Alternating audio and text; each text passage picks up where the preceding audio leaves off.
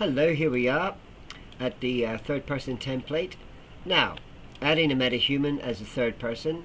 I've already added a metahuman, so that saves you, you know, that's basically gone up to Quixel Bridge and then downloading a metahuman that you have.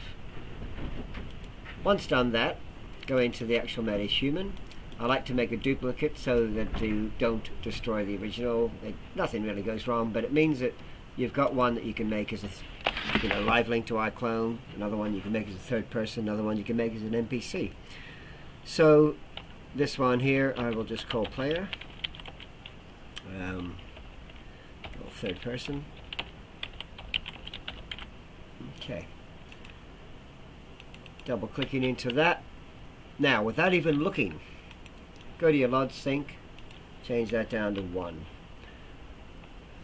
Grab the, um, go up to the uh, class settings, highlighting the name of your character, go up to class settings, and change that to third person character.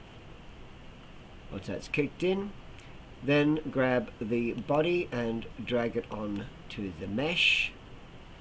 Then tick the mesh, type in VIS for visible, untick the visibility, change the visibility based animation settings to always tick pose and refresh bones. Then you go down to body, get rid of the viz, click this arrow, click this arrow, while it's on body, go down to the live retargeting, use live retargeting mode, click that, hit compile, save,